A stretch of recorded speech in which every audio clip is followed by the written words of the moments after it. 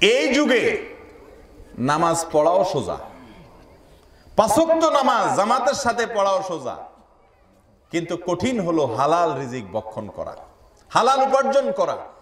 জান্নাতে যাওয়ার জন্য এই যুগে সবচেয়েতে বড় বাধাগুলার ভিতরে একটা হলো উপার্জনের ভেজাল। চতুর্দিকে হারামের হাতছানি, অবৈধ উপার্জনের হাতছানি।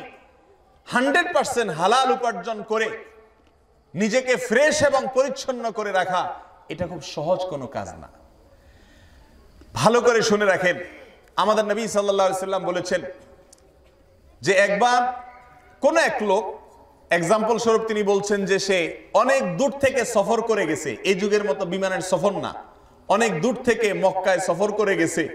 ধুলায় মলিন অবস্থায় বাইতুল্লাহ চারপাশে তফ করতে করতে দুই হাত তুলে চিৎকার করে করে আল্লাহর কাছে সে দোয়া করতেছে। আমাদের রসুল সাল্লাম বলেছেন আন্নায় জাবুল্লাহ তার দোয়া কীভাবে কবল হতে পারে? তার দেহ, তার সম্পদ, তার পোশাক, আশাক, এগুলো সব হারাম দ্বারা গঠিত হয়েছে। অতএব সে যত চিৎকার করে দোয়া করুক বাইতুল্লার চারপাশে তোয়াপ করতে করতে দোয়া করা তো দূরের কথা। বাইতুল্লার ভেতরে ঢুকেও যদি সে দোয়া করে, তার দোয়া কবুল হবে না যদি তার উপার্জনে কি থাকে? ভেজাল থাকে। আপনারা কোরআনের একটা আয়াত হয়তো অনেকে শুনে থাকবেন। আল্লাহ বলেছেন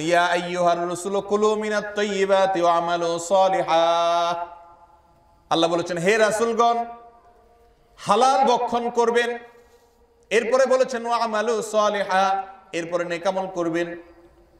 আগে হালাল বক্ষণের কথা বলছেন আল্লাহ। তারপরে নেকামলের কথা বলছে। আর এখন সারা জিন্দিগি দুই নাম্বারই করে, মানুষের হক নষ্ট করে চুরি ডাকাতি করে, বাটপারি করে সুদ ঘুষের মাধ্যমে উপার্জন করে, বুড়া বয়সে মাসাল্লাহ লম্বা দাড়ি রেখে একটা জুব্বা লাগায়া, টুপি লাগায়া মসজিদে হাজি সাহেব হইয়া চলে যায়। সামনের কাতারের মুসল্লি মাসাল্লাহ মসজিদের কিছু লাগবে।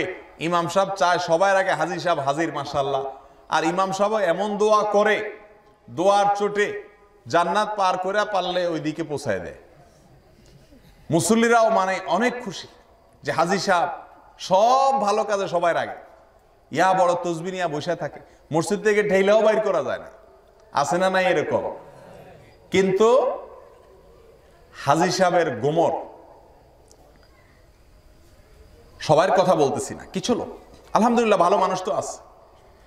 জোয়ান বয়সে উনি কীভাবে পয়সা কামাই করছেন, এই যে দান করতেছেন, মানুষের রক্ত কীভাবে চুষা চুষে আনছেন কীভাবে মানুষের হক মাইরা মাইরা সম্পদ করছেন, এটা উনি জানেন আর ওনার আল্লাহ জানে। এলাকার মানুষকে ধোকা দেওয়া সোজা, ইমাম সাহেবের চোখে ধুলি দেওয়া সোজা। সবাই বলবে হাইরে কত আমলদার মানুষ মাসাল্লাহ কিন্তু ওনার গোড়ার ইতিহাস কে জানেন? আল্লাহ সুমাতাল্লাহ জানেন কি জানেন না?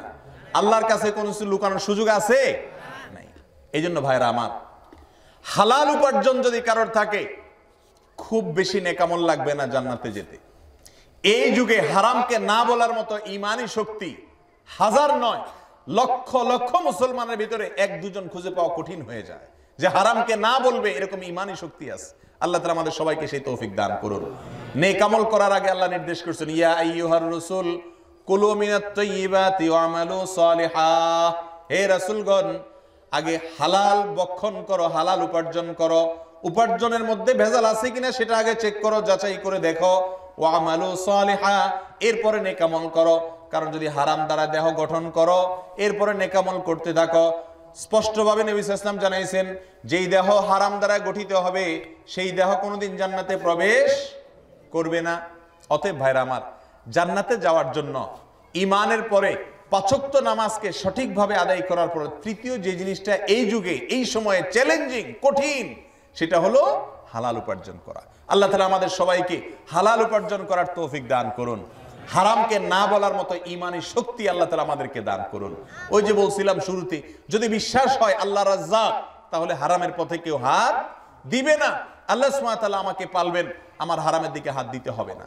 আল্লাহ তালা আমাদের সবাইকে হারামকে না বলার মতো ইমানি শক্তি নসিব করুন। সময়ত উপস্থিতি, হালাল উপার্জন এই প্রসঙ্গে অনেক আলোচনা আপনারা শুনে থাকেন বিভিন্ন সময়। এই যুগে কতভাবে হারাম উপার্জন হয়, সেটার ফিরিস্তি অনেক লম্বা। আপনি যখন চাকুরি করেন কোন এক জায়গায়, আপনার ডিউটি থাকে। ডিউটির সময় যদি মোবাইলে আপনি আধা ঘণ্টা করে ডেইলি ফেসবুক টিপেন অথবা কথা বলেন আপনার বাসায়, এই আধা ঘণ্টা সময়ের জন্য আপনি যেখানে চাকরি করেন সেখান থেকে যে বেতন নিচ্ছেন, এটা কি হালাল হবে না হারাম হবে? কথা কি বুঝতে পারছেন? আট ঘণ্টা দশ ঘণ্টা বারো ঘণ্টা। ডিউটির একটা টাইম ঠিক করা আছে না? এই টাইমটা আপনি যার অধীনে কাজ করেন যে প্রতিষ্ঠানে কাজ করেন সেই প্রতিষ্ঠান আপনার থেকে কিনে নিস। এই টাইমের ভেতরে আপনি যদি মোবাইলে আধা ঘণ্টা ব্যস্ত থাকেন কাজ বাদ দিয়া তাহলে ওই আধা ঘণ্টার যে বেতন হবে সেটা কি হালাল হবে না হারাম হবে? এই জন্য বললাম লক্ষ লক্ষ মানুষের ভেতরে আল্লাহর কসম করে বলতে পারি আমার মনে হয় যে দশজন মানুষ পাওয়াও কঠিন হবে। যে ইনকামের ব্যাপারে শতভাগ বুক ফুলিয়ে বলতে পারবে যে কোনো ভেজাল আমার ইনকামে নেই। আর ইনকামে যদি ভেজাল থাকে, অন্যের হক যদি থাকে, তাহলে তার জান্নাতে যাওয়ার পথ অত্যন্ত কঠিন কঠিন কঠিন। আল্লাহ তালা রহম করলে তার কাছ থেকেও মাপ চাওয়াই আল্লাহ জান্নাত দিতে পারেন, সেটা ভিন্ন বিষয়। কিন্তু আপাত দৃষ্টিতে তার জান্নাতের পথ খুব কঠিন। এই জন্য ভাইরা আমার হালাল উপার্জনের জন্য চেষ্টা করতে হবে। আল্লাহ আমাদের সবাইকে তৌফিক দান করুন।